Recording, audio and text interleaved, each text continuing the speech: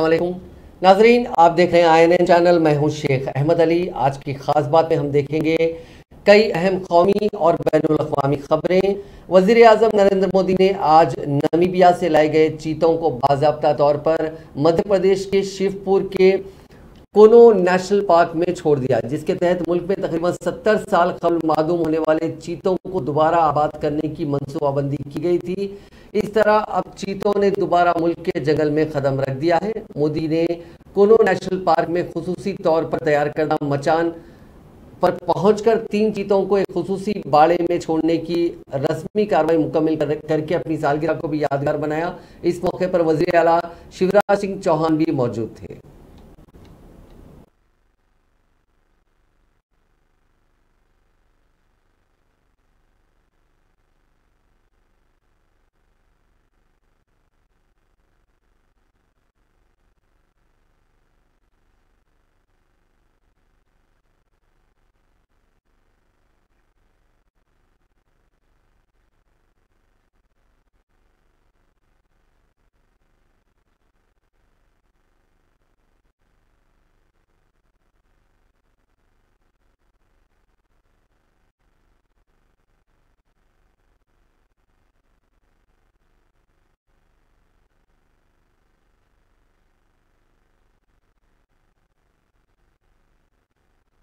साथियों, ये बात सही है कि जब प्रकृति और पर्यावरण का संरक्षण होता है तो हमारा भविष्य भी सुरक्षित होता है। विकास और समृद्धि के रास्ते भी खुलते हैं। कुल्लू नेशनल पार्क में जब चीता फिर से दौड़ेंगे तो यहाँ का ग्रासलैंड इकोसिस्टम फिर से रिस्टोर होगा। बायोडायवर्सिटी और बढ़ेगी। आने वाले दिनों में यहाँ इको टूरिज़्म भी बढ़ेगा। यहाँ विकास की नई संभावनाएँ जन्म लेगी। रोज़गार के अवसर बढ़ेंगे। लेकिन साथियों, मैं आज आपसे सभी देशवासियों से एक आग्रह भी करना चाहता हूँ। कूनो नेशनल पार्क में छोड़े गए चीतों को देखने के लिए देशवासियों को कुछ महीने का धैर्य दिखाना होगा, इंतज़ार करना होगा, सहयोग करना होगा। आज ये चीते मेहमान बनकर आए हैं। इस क्षेत्र से अनजान है। कूनो नेशनल पार्क को ये चीते अपना घर बना पाए, इसके लिए हमें इन चितों को भी कुछ महीने का समय देना होगा। अंतर्राष्ट्रीय गाइडलाइंस पर चलते हुए भारत इन चीतों को बसाने की पूरी कोशिश कर रहा है।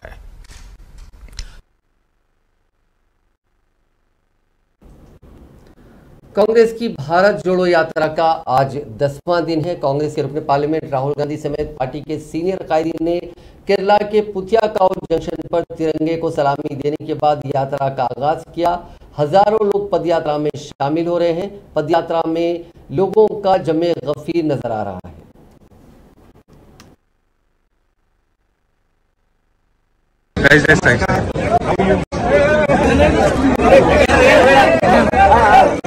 É,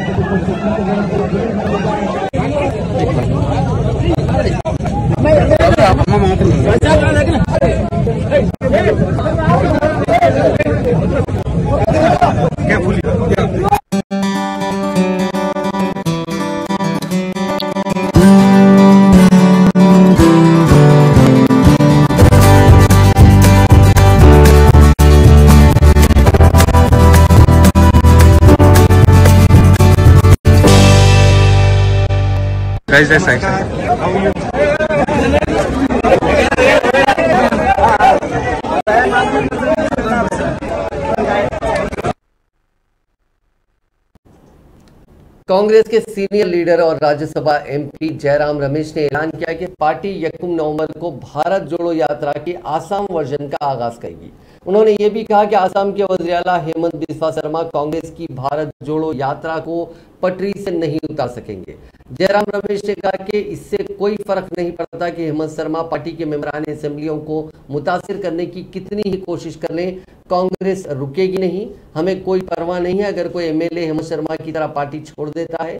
उन्होंने कहा कि हेमंत शर्मा कांग्रेस के बारे में सोचना छोड़ दें और आसाम की फलाह बहबूद के लिए काम करने पर तवज्जो दें।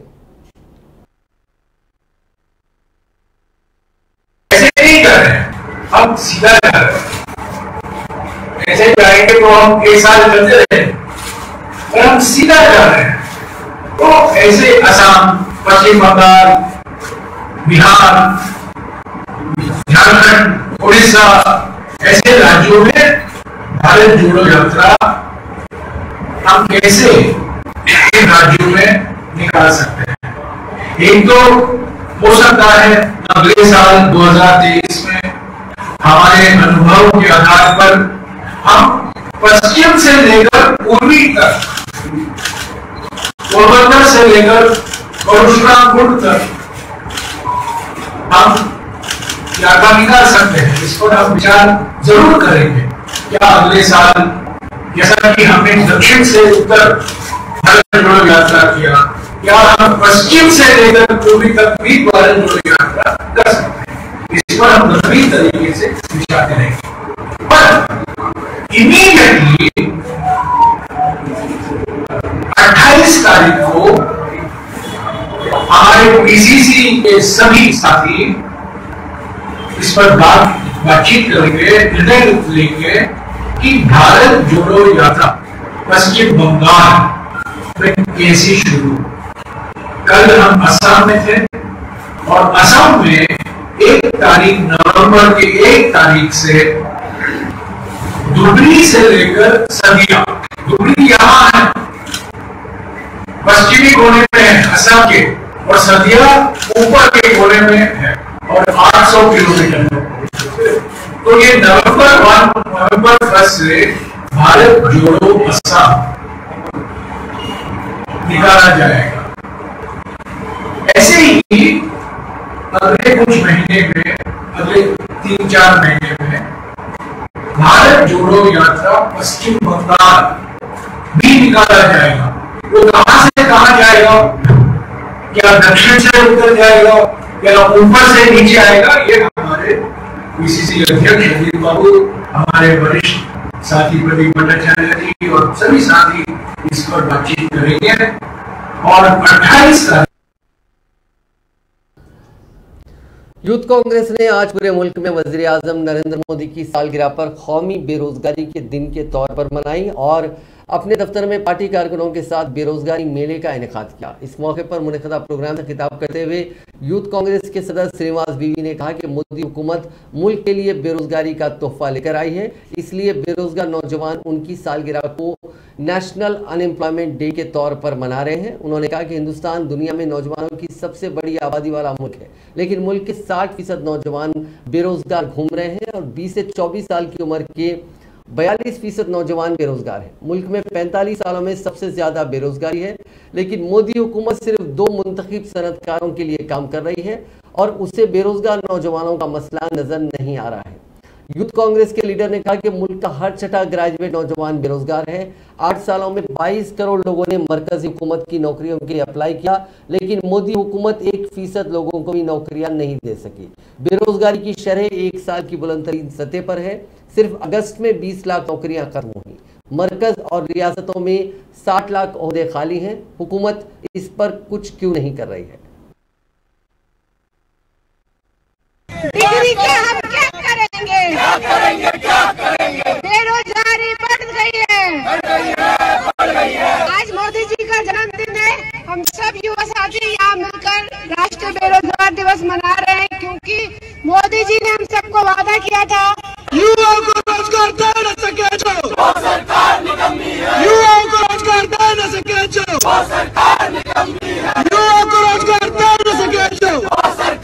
नरेंद्र मोदी शर्म करो शर्म नहीं तो डूब मरो युवाओं की जो सरकार निकम्मी है युवाओं की जो बात सरकार ना सुने मोदी जी के राज में डोरा आ गया हाथ में मोदी जी के राज में डोरा आ गया हाथ में युवा क्या मांगते हैं? रोज़गार हम क्या मांगे रोज़गार भाई मांगे बहने मांगे भाई मांगे बहने मांगे यूपी मांगे अरे मुंबई मांगे हिमाचल मांगे अरे यूपी मांगे अरे भाई मांगे अरे बहन मांगे अरे डॉक्टर मांगे अरे वकील मांगे ये सरकार हुई बेकार ये सरकार हुई बेकार मोदी तेरे राज में कांग्रेस तर्जुमान सुप्रिया श्रीनाथ ने आज मीडिया से बात करते हुए कहा कि पहले तो पीएम मोदी नेक उनकी सालगिरह पर इन्होंने नेक ख्वाहिशात पेश किया और उनकी सेहतमंदी और तवील उम्री के लिए दुआ की। फिर तंजिया अंदाज में कहा कि हिंदुस्तान में अजीम गुजरा आज़म की यौम पैदाइश को अलामती तौर पर मनाया जाता रहा है। बच्चों के पसंदीदा चाचा नेहरू जी के यौम पैदाइश को चिल्ड्रंस डे इंदिरा गांधी जी के यौम पैदाइश को कौमी यौम इतिहाद राजीव गांधी की यौम पैदाइश को यौम खैर सुगाली और अटल जी के यौम पैदाइश को यौम सुशासन की शक्ल में मनाया जाता है। आज का दिन भी बेहद खास है और आज मोदी जी की हसूलियाबियों का भी खूब तस्करा हो रहा है मुल्क के नौजवानों के लिए। मोदी जी ने इतना कुछ किया कि वो आज का दिन कौमी यौम बेरोजगारी के तौर पर मना रहे हैं। देश के प्रधानमंत्री नरेंद्र मोदी जी को उनके जन्मदिन पर अशेष बधाई। और हम उनकी ईश्वर से दीर्घायु और स्वस्थ रहने की कामना करते हैं। लेकिन जब इस देश के युवा प्रधानमंत्री के जन्मदिन को राष्ट्रीय बेरोजगार दिवस मना रहे हैं तो थोड़ा दुख भी होता है और चिंता भी होती है। और होनी लाजमी है, क्योंकि कामकाजी उम्र के 60 परसेंट लोग विश्व के सबसे युवा राष्ट्र में आज या तो नौकरी कर नहीं रहे या रोज़गार ढूंढ नहीं रहे इस पर चर्चा नहीं करते हैं प्रधानमंत्री की जो दो करोड़ सालाना रोज़गार बनने थे, उसके हिसाब से सोलह करोड़ नौकरियाँ बन जानी चाहिए थी। लेकिन नौकरियाँ मिली है सिर्फ़ सात लाख लोगों को। वो ये नहीं बताते कि साठ लाख सरकारी पद केंद्र और राज्यों में क्यों खाली पड़ हैं। उनको चिंता रोज़गार की है, एक ही व्यक्ति के रोज़गार की, और उनका नाम जय शाह जी है, अमित शाह जी के सुपुत्र। वो तो तीन साल बाद रिटायर होने वाले थे बीसीसीआई सचिव के पद से, लेकिन बीसीसीआई का संविधान बदलकर उनको तीन साल रोज़गार और मिलेगा। आपके बच्चों को चार साल के रोज़गार के बाद तेईस साल की उम्र में रिटायर कर दिया जाएगा। लेकिन जब भी बेरोजगारी और महँगाई की पाया जाता है, आज ध्यान चीतों को लेकर भटकाया जा रहा है। 2008-9 में की यूपीए सरकार कांग्रेस लेड यूपीए सरकार ने इस प्रोजेक्ट को स्वीकृति दी थी। अप्रैल 2010 में तब वन और पर्यावरण मंत्री जयराम रमेश जी अफ्रीका के चीता आउटरीच सेंटर में गए थे। लेकिन 2013 में देश के सुप्रीम कोर्ट उच्चतम न्यायालय ने इस प्रोजेक्ट पर रोक लगा दी थी। सात साल बाद 2020 में वो रोक हटी और आज चीते आ रहे हैं। मुझे लगता है कैमरा जीवी और श्रेय जीवी नरेंद्र मोदी जी इसको कभी नहीं मानेंगे, लेकिन ये प्रोजेक्ट शुरू कांग्रेस की सरकार ने किया था, खत्म आप कर रहे हैं, अच्छी बात है। हर चीज़ का श्रेय ले लेना, हर चीज़ का क्रेडिट ले लेना, क्रेडिट जीवी की आदत है। और हो सकता है मोदी जी बहुत जल्द ये घोषित कर दें कि ये देश 1947 में नहीं 2014 में आज़ाद हुआ था। ऐसा है नहीं। मुद्दा आज भी रोज़गार है। चीते आने का हम स्वागत करते हैं। रोज़गार पे चर्चा करिए, क्योंकि ये देश आपको इमारतों के लिए नहीं, चीतों के लिए नहीं, आपके बुलंद इरादों के लिए और रोज़गार देने के लिए याद दिल्ली के नायब वजी अला मनीष सिसोदिया ने बीजेपी हुकूमत पर तनकीद की। उन्होंने एक ट्वीट में कहा कि इससे कबल उन्होंने सत्येंद्र जैन को गिरफ़्तार किया था, लेकिन अदालत में उनके खिलाफ कोई सबूत नहीं मिले। उन्होंने, मेरे घर पर छापा मारा, कुछ नहीं मिला। फिर कैलाश गहलोत के खिलाफ फर्जी तहकीकत शुरू की और अब अमानतुल्ला खान को गिरफ़्तार कर लिया गया। आम आदमी पार्टी के एक एक लीडर को तोड़ने के लिए ऑपरेशन लोटस जारी है। सिसोदिया ने यह बात अमानतुल्ला खान के एक ट्वीट को रीट्वीट करते हुए कही। उसमें लिखा है कि अमानत साहब के एसीबी दफ्तर जाने के बाद पुलिस अफसरान घर पहुँचे और तलाशी ली। इस वीडियो में वाजे तौर पर सुना जा सकता है कि पुलिस एहलकार कह रहे हैं कि तलाशी के दौरान कुछ नहीं मिला। लेकिन मीडिया जिसे जमहूरियत का चौथा सुतून कहा जाता है, झूठी खबरें फैलाकर गुमराह कर रहा है।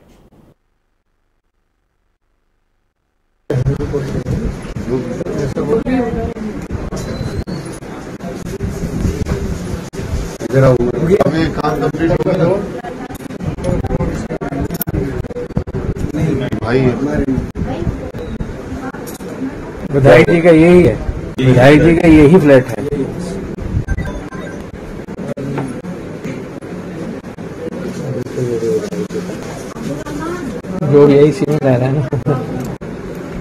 ना जाते बिना इतना वक्त कहाँ है? इधर से इधर हो गया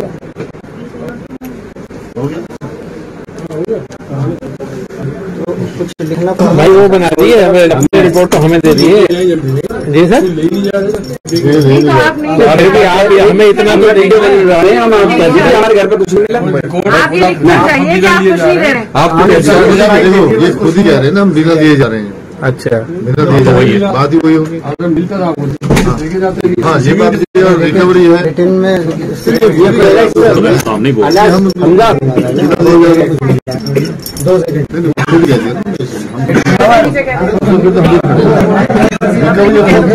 सर सर आपको तसल्ली हो गई ना? बच्चों खोलो।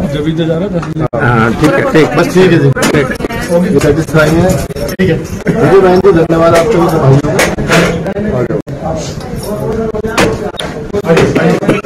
आइए सर। बारिश कह रहे ना सब कुछ के करके अपना कुछ नहीं मिला जा रहे हैं। चप्पल कौन पड़ गया पूरे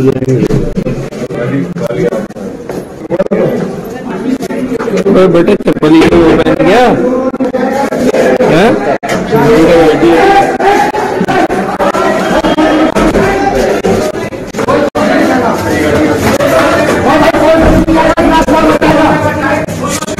अरे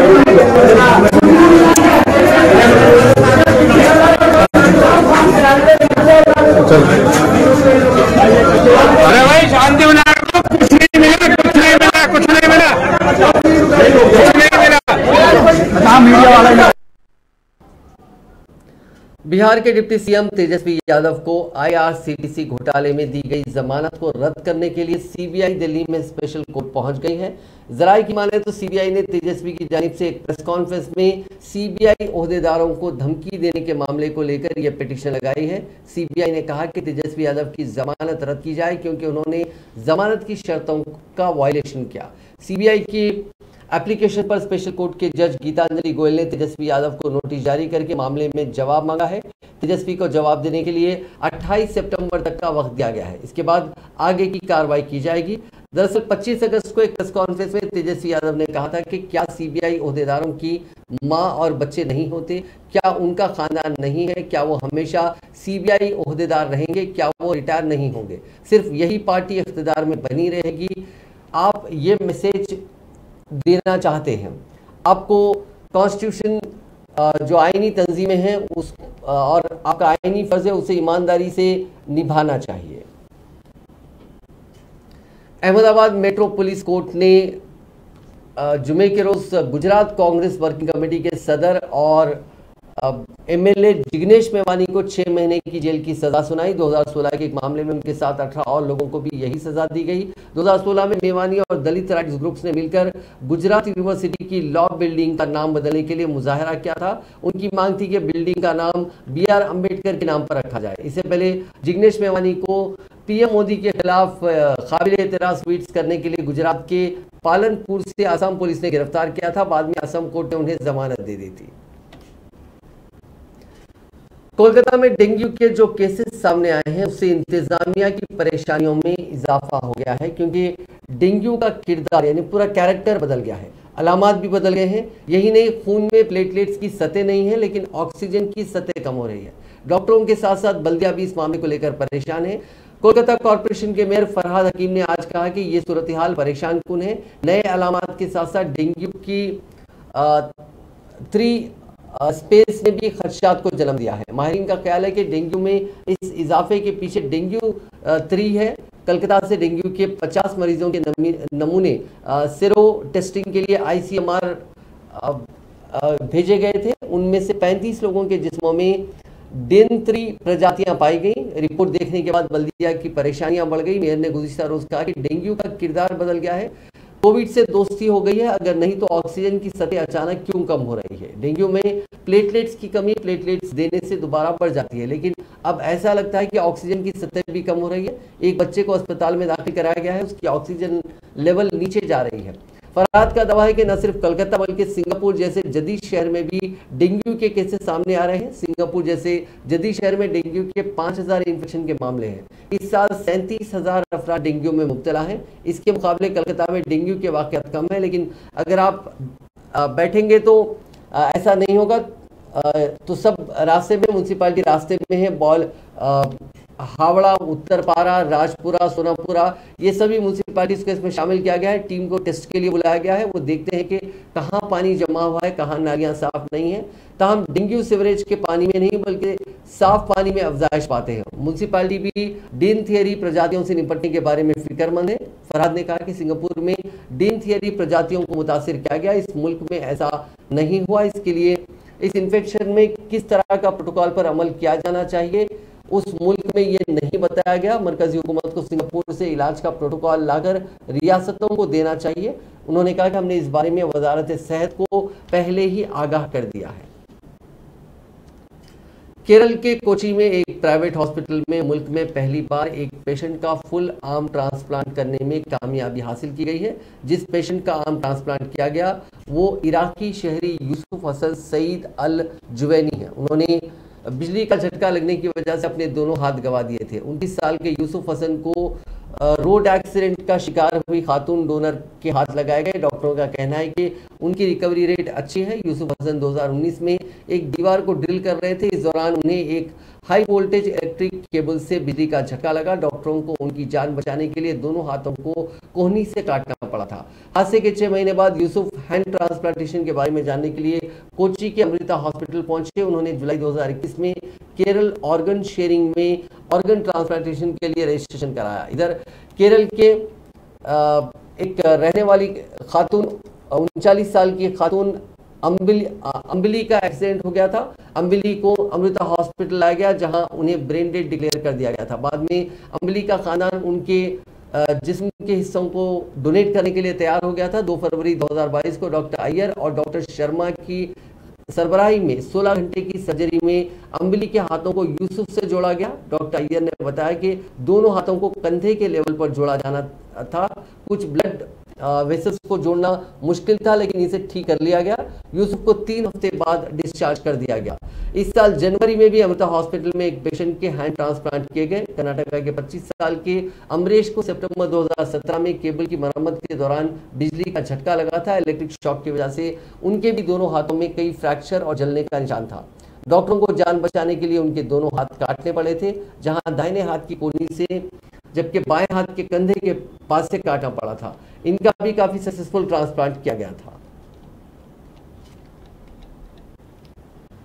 एनफोर्समेंट डायरेक्टरेट ने instant Chinese loan app case में Paytm Razorpay Cashfree और ईज बस के ज़रिए बनाए गए मर्चेंट अकाउंट में रखे गए 46 करोड़ सैंसठ लाख रुपए को फ्रीज कर दिया। वहीं पेटीएम ने इस पूरे मामले पर सफ़ाई दी है और इन खबरों को गलत बताया। जराये के मुताबिक इजी बस प्राइवेट लिमिटेड पुणे के पास से 33 करोड़ 36 लाख रुपए और रेजर पे सॉफ्टवेयर प्राइवेट लिमिटेड बेंगलुरु के अकाउंट से 8 करोड़ 21 लाख रुपए जब्त किए गए। इसके अलावा Cashfree payment India private limited Bengaluru के पास से एक करोड़ 28 लाख रुपए और पेटीएम पेमेंट सर्विसेज़ लिमिटेड नई दिल्ली के अकाउंट से एक करोड़ 11 लाख रुपए फ्रीज किए गए हैं। बता दें कि ईडी ने 14 सितंबर को दिल्ली, मुंबई, गाजियाबाद, लखनऊ और गया समेत मामले से जुड़े कई हाथों में छापेमारी की थी।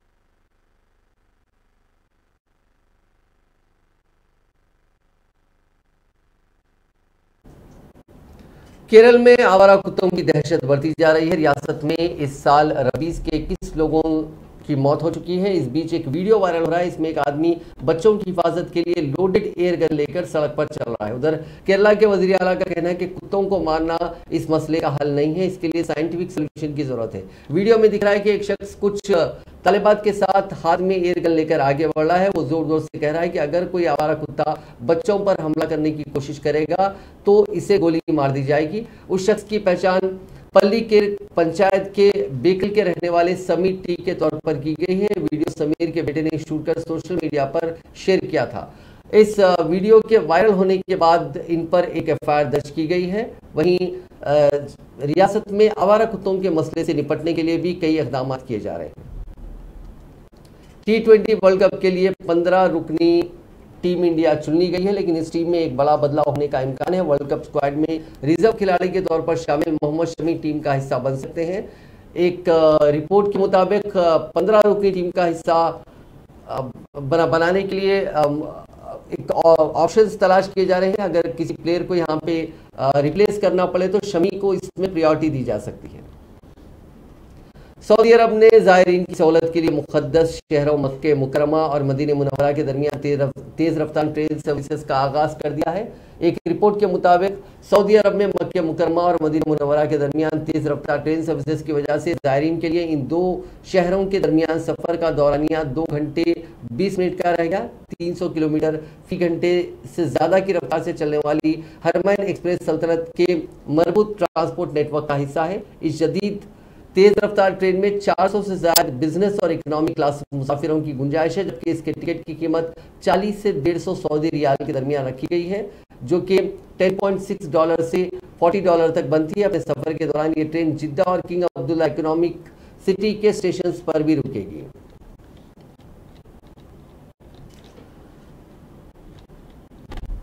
जुनूबी अफ्रीका के मशरकी सूबे क्वाजुलू नाताल में स्कूल बस और ट्रक के दरमियान तसादुम में 19 बच्चों समेत कम से कम इक्कीस अफराद हलाक हो गए। एक रिपोर्ट के मुताबिक हंगामी खिदमात के हवाले से खबर दी गई है। कोजालो नेटाल इमरजेंसी सर्विसेज़ के तर्जुमान ने बताया कि खौफनाक सड़क हादसे में इक्कीस अफराद हलाक हुए हैं, जिनमें 19 बच्चे भी शामिल हैं। जिनकी उम्रें पाँच से बारह साल के दरमियान बताई गई हैं।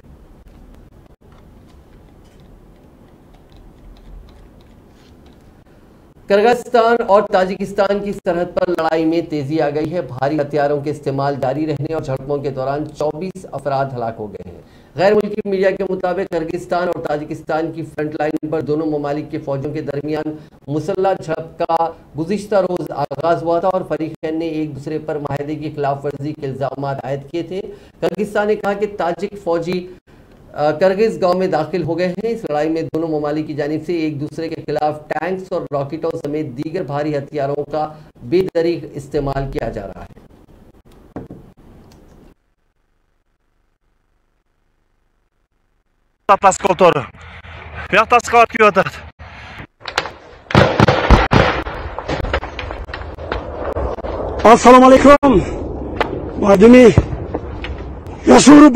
Tojik.